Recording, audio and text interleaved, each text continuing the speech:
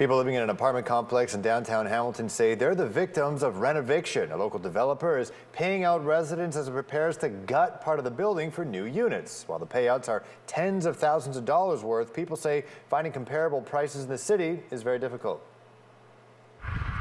Outside the Ventura Towers, an apartment complex bookended by Hughson Street North and John Street North flies a flag that says, live here. Valery But a crowd outside the towers say they're being told the opposite by new landlords, Valery Properties. Valery Properties tells CHCH that after receiving permits from the city, it'll undergo a total renovation of the first six floors of the tower.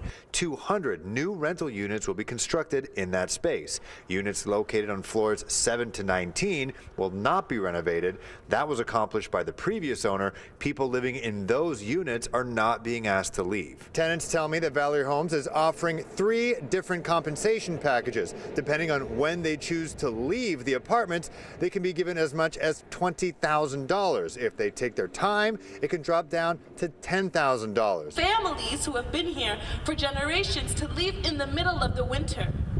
And then we complain about people living in encampments. Advocate groups such as ACORN and the Center for Civic Inclusion says Valery's actions are an attack on the mainly racialized and impoverished tenants. Very bad time, and it's a winter time, and it's a COVID time, and it's very hard to find the, the, the house now everywhere. Yeah. And, and, if you find it, you cannot even be because the government they, they are welfare family. Yeah. yeah, they don't have that uh, money to rent the houses. My mom is looking like every day constantly, and it's like you, you can't find anything for that that low price. What are they normally?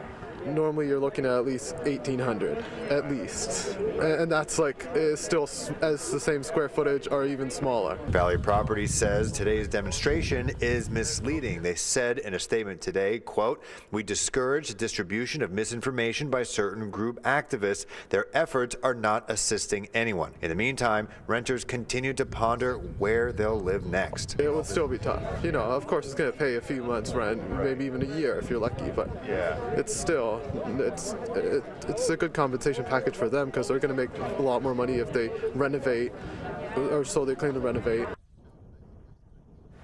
Rental prices for the new suites haven't been determined, but a quick search online shows that three-bedroom apartments in the city run anywhere from 1,200 to $2,800 a month.